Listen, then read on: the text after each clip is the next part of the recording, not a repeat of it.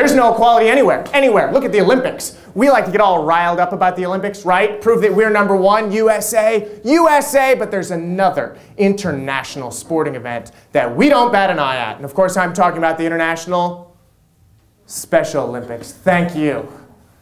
So many people don't even realize the International Special Olympics exists, folks, and that is so sad. We need to rally behind the goofy athletes representing this country overseas because when you weigh the gigantic heads pound for pound, we have some of the strongest and fastest mongoloids in the world. We would beat the pants off of Zaire if they wore pants and if they were still a country and if we supported our top heavy runners. You give these genetic defects a handful of sugar cubes, they will show you gymnastics. I promise you. I pro they don't even know the meaning of the word lose. They don't. There's this one kid in our team, Cody. We call him Drool Cup. He is the backbone. He is the crooked backbone of this year's team, and he deserves your love and your support when he's running his event, the Delay Relay. When he drags his gorilla knuckles across that finish line, when he is up there licking his gold medal, will you give it up, please? Can we end the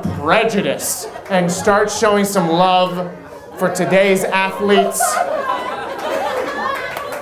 Before they become tomorrow's McDonald's workers. Can we do that, please?